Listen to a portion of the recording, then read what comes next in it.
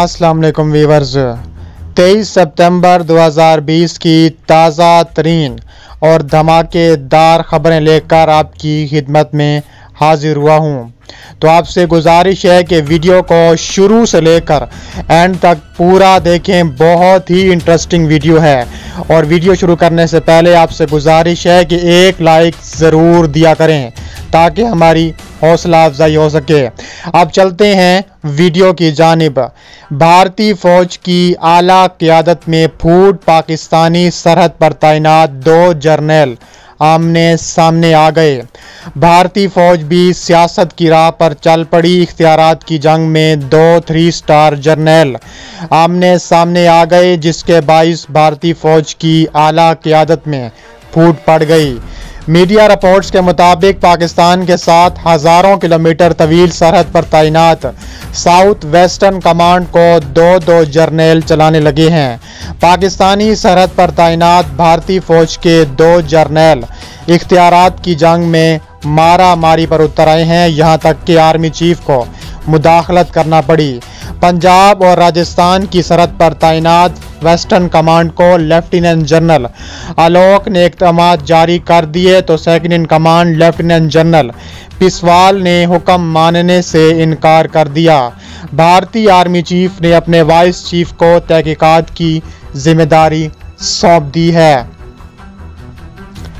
Dubai के पहले business group ने इसराइल में कारोबारी दफ्तर खोलने का ऐलान कर दिया। मुतहदा अरब अमारात और इसराइल के मुतद इदारों ने आपस में एक मुश्तर माहे पर दस्तखत कर दिए हैं। उसका मकसद फिल्मी सनत के प्रोडक्शन और ट्रेनिंग के शोबों में करीबी ताउन भी होगा और इलाकाई सतह पर मिलकर एक फेस्टिवल का भी इनका किया जाएगा। इस बारे में Abu Dhabi film commission Israeli film fund यरूशलम film and television school के मबैन माहा तय पा गया। ये बात उन इदारों ने पीर के रोज़ अपने एक मुश्तर बयान में कही। इस माहे के तहत एक सालाना इलाकई मेला भी मुनद किया जाएगा, जो एक साल अबूजैबी में और एक साल इसराइल में हुआ करेगा। दूसरी जानब, दुबई के पहले बिज़नेस ग्रुप ने इसराइल में कारोबारी दफ्तर खोलने का ऐलान कर दिया। अलबतौर ख़ानदान का मलकियती ग्रुप होटलों, तमीराती फर्मों, तालीम और ऑटोमोबाइल के शोबों में काम करता है। इस ग्रुप के सरबरा मुतहदा अरब अमारात की मरूफ कारोबारी शख्सियत मोहम्मद खल्फ अहमद अलबतूर हैं। उन्होंने कहा है कि वो इसराइल की फ़जाई कंपनी एसरियो से यू यूएई के लिए बर रास्त परवाज़ें चलाने की भी बातचीत कर रहे हैं। आइंदा दिनों में बाज़ नई शराकत दारी से मुतल इनकशफात की तैयारी भी कर रहे हैं। अमेरिकी डॉलर के मुकाबले में ईरानी रियाल की कदर पास तरीन सतह पर चली गई। अमेरिकी पाबंदियों के बाईस ईरानी रियाल की कदर डॉलर के मुकाबले में पहली मरतबा पास तरीन सतह पर चली गई। तेहरान भर में करेंसी के तबादलों की दुकान पर एक डॉलर कमोबेश दो लाख बहत्तर हज़ार पाँच सौ रियाल में फ़रोख्त हुआ। अमेरिका की ईरान के खिलाफ दोबारा इकतसादी पाबंदियों के नफाज के नतीजे में जून के बाद से अब तक रियाल डॉलर के मुकाबले में अपनी 30 फ़ीसद से ज़्यादा कदर खो चुका है। ईरान की 2015 में छः बड़ी ताकतों से जोहरी डील के वक्त एक डॉलर की कीमत सिर्फ़ बत्तीस हज़ार रियाल थी। ईरानी रियाल की इस कदर बेतोकरी के बाद वजारत खारजा के तर्जुमान सईद खतीब ज़ादा ने ट्रंप इंतज़ामिया की ईरान के ख़िलाफ़ मुतहदा अरब अमारात की पाबंदियों के नफाज को मुस्तरद कर दिया। ईरानी हुकूमत के तर्जुमान ने ट्रंप इंतज़ामिया के इस ऐलान का तमस्कर उड़ाया और कहा है कि मैं जोरी समझौते के तहत हटाई गई पाबंदियों के दोबारा नफाज ट्रंप इंतज़ामिया की ख्याली दुनिया ही हो सकती है। उन्होंने कहा है कि अमेरिका तारीख के गलत सिमत खड़ा है। खतीब ज़्यादा ने अपनी हफ्तावार प्रेस ब्रीफिंग में कहा है कि वो अमेरिकी इस बात की कोशिश कर रहे हैं कि हर कोई उन पर यकीन कर ले, लेकिन उनके अपने सिवा कोई भी इसका यकीन का ख़रीदार नहीं। उन्होंने कहा है कि मिस्टर ट्रंप और उनके मिट्टी बरसाती एक टीवी शो अपने लिए पेश कर रहे हैं और उसको देखने और तालियाँ बजाने वाले खुद ही हैं। एक और मुल्क भी इसराइल का हम नवा बन गया बैतुलमुक़दस में अपना सफारतखाना मुंतकिल करने का ऐलान। ओंड्रास ने भी बैतुलमुक़दस का सफारतखाना का अंदिया दे दिया। सदर जवान और लैंडो हर्नैंडीज अपनी ट्वीट में कहा है कि इनका मुल्क मकबूजा बैतुलमुक़दस में अपना सफारतखाना खोलने का इरादा रखता है। ट्वीट में उन्होंने इस उम्मीद का इजहार किया कि अगर कोरोना की वबा ने इजाज़त दी तो रवा साल के अख्ताम से कबल इस इदारे पर भी अमल हो जाएगा। इसराइली वज़ीर अजम बेनयामिन नेतन्याहू से कई अमूर पर बातचीत की है। उनमें तजावीराती इतिहाद हंड्रास के दारकूमत में सपैलगा में इसराइली सफरतखाने का अफ्ताह और बैतुलमुक़दस में हंड्रास का सफरतखाना खोले जाने के अमूर पर। अहम तरीन है। सदर हरडेस ने इस ट्वीट के साथ दो तस्वीर मुंसलिक की, जिनमें वो बेनयामैन नेतन्याहू के साथ तस्वीर में नज़र आ रहे हैं। इस इकदाम के साथ इस बैतुलमुक़दस को इसराइल का दारकूमत तस्लीम करने वाला तीसरा मुल्क बन जाएगा। इससे कबल अमेरिका ने 14 मई 2018 को अपना सफरत तुल अबीब से बैतुलमुक़दस मुंतकिल किया। इसके दो रोज़ बाद ही हंड्रास के पड़ोसी मुल्क गोइटा माले ने भी मुमासिल इकदाम पर अमल किया था। चीनी सदर शी जिनपिंग का दौरा पाकिस्तान वज़ीर अजम इमरान खान का अहम बयान जारी हो गया।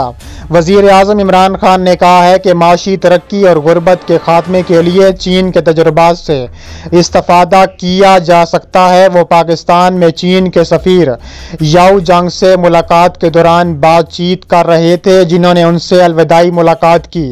वज़ीर अजम पाकिस्तान इमरान खान ने चीन के सफ़ार याऊ जंग की जानब से दो तरफा ताल्लुक को मज़ीद मुस्तकम करने की काविश की तारीफ़ की और कहा है कि इन्हीं के दौर में सी पैक दूसरे मरले में दाखिल हुआ। वज़ीर अजम इमरान खान ने चीन के सफ़ीर से कहा है कि पाकिस्तान की आवाम, चीन के सदर शी जिनपिंग के दौरे पाकिस्तान के मुंतज़र हैं। उन्होंने कहा है कि चीनी क्यादत ने आलम की माशी खुशहाली के लिए मिसाली किरदार अदा किया।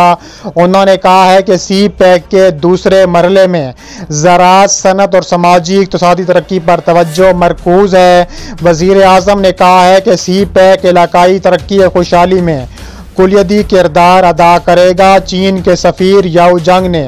दो तरफा ताल्लुक के फ़रोग के लिए वज़ी अजम के कायदाना किरदार पर इजहार तशक्र किया। उन्होंने कहा है कि चीनी क्यादत की तरफ़ से वज़ीर अजम इमरान खान के किरदार को अली सतह पर सराहा गया। चीन के सफ़ीर ने गुज्त दिनों chief of army staff general Qamar Javed Bajwa से अलवदाई मुलाकात की थी। पाक फौज के सरबराह ने उनके एजाज़ में एशाइया भी दिया था।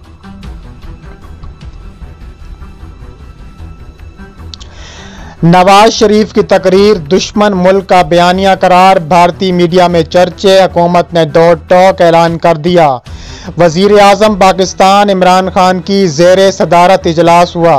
नवाज़ शरीफ की तकरीर को भारतीय बयानिया करार देते हुए इदारों के खिलाफ बयानबाजी की सख्त मजम्मत की। इमरान खान ने कहा है कि पाकिस्तान की मुसल्ह अफवाज कौमी सलामती की जामिन है। निजी टी वी की रिपोर्ट के मुताबिक वज़ीर अजम पाकिस्तान इमरान खान की जेर सदारत हकूमती तर्जुमानों का अजलास हुआ, जिसमें मुल्की सियासी सूरत हाल और सालमियत अपोजिशन जमातों की ए पी सी करारदाद और नवाज़ शरीफ की तकरीर का जायज़ा लिया गया।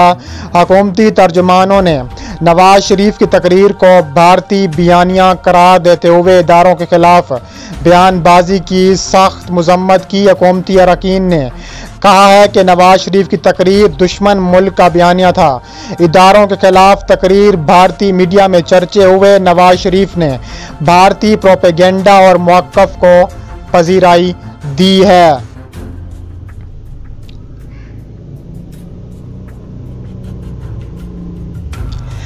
फ्रांस से लिए गए भारतीय राफेल त्यारों की चीनी सरहद के करीब परवाजें। जंगी जनून में मुबतला। भारत ने चीनी सरहद के करीब हाल ही में फ्रांस से लिए गए नए जंगी तैयारों की आजमाइशें, परवाजें की हैं।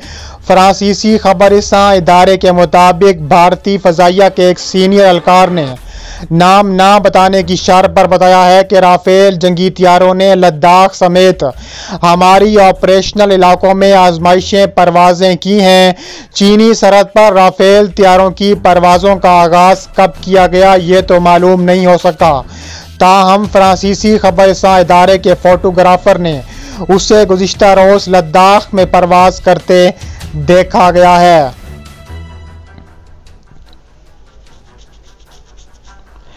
हिंदुत्व के प्रचार, नाम निहाज सेकुलर मुल्क, भारत की फिर रवायती हट धर्मी सिखों को।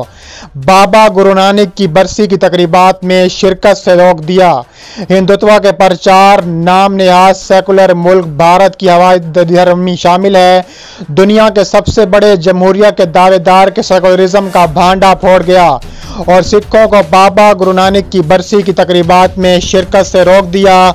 मीडिया रिपोर्ट के मुताबिक दुनिया के मुख्तलिफ़ ममालिक से सिखों के जत्थे करतारपुर पहुँचे हैं। सेकुलर भारत ने फिर रवायती हट धर्मी का मुजाहरा करके सिखों को करतारपुर आने से रोक दिया। मोदी के भारत ने सिख बरदरी को गुरु नानक की बरसी की तकरीबात में शिरकत की इजाज़त ना दी। पाकिस्तान ने कोरोना के बाद निजामत मुकम्मल करके करतारपुर आदारी खोलने के फैसले से भारत को आगाह किया। जराए के मुताबिक दफ्तर खारजा ने करतारपुर रहदारी के ज़रिए सिखों के पाकिस्तान आने से मुतलक दो खतूत भी लिखे। दफ्तर खारजा ने भारत को पहला खत सताईस जून, जबकि दूसरा सताईस अगस्त को तहरीर किया। जराए के मुताबिक भारत ने पाकिस्तान के दोनों खतूत पर कोई रद्द अमल नहीं दिया। भारत ने ताजमहल स्याहों के लिए खोला, लेकिन सिखों को बागुरानी की बरसी पर कुरतार पुराने का मौका फराम नहीं किया है। हिंदुत्व के प्रचार मगन मोदी सरकार की। भारत ने अकलियतों के मजहबी आज़ादी छीन ली गई है।